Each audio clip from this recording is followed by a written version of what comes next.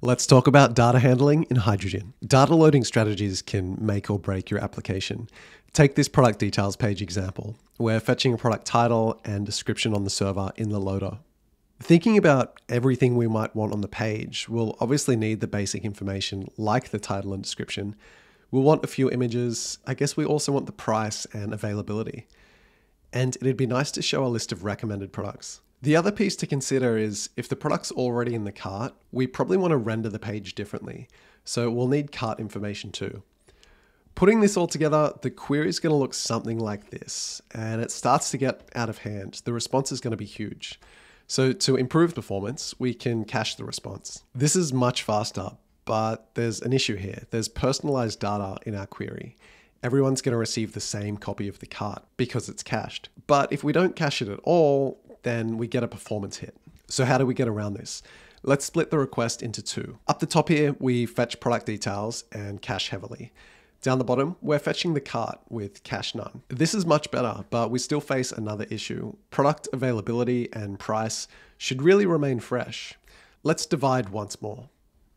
Okay, now we've divided the initial query into three parts, each with its own caching strategy. The product, availability, and cart. But we've created a request waterfall, where each request is made one after the other. We should really execute these simultaneously. We can do this with promise.all. By leveraging caching and parallel data loading, our page should be much faster, but we can still squeeze out a little more performance. Recommended products aren't essential, and if they fail to load or they're slow, we still want a fully functional product page. So let's defer loading the product recommendations and also the cart. Notice we don't await these queries. Instead of awaiting the recommended products in the cart, we pass them to defer. This will stream those promises over the network to the browser. And then we can access these promises from within the component.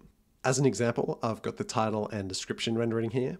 For the recommended products, we'll wrap them in React's suspense component, and this displays a fallback or a loading state while the recommended products are loading. So we'll see the primary data load first, and then a loading state for the recommended products. It's important to note the page is completely interactive at this point, and now we can use await from Remix to resolve the promises. It's tempting to defer everything on a page, but this is usually a bad decision. By deferring data, the time to first byte improves, but the user's shown a bunch of pending interfaces which they can't interact with, and it causes jank when the page does load. It's usually better just to show the customer immediately actionable content, which is a good reason to await primary data and only defer secondary data. You can see this example in detail in the Hydrogen blog.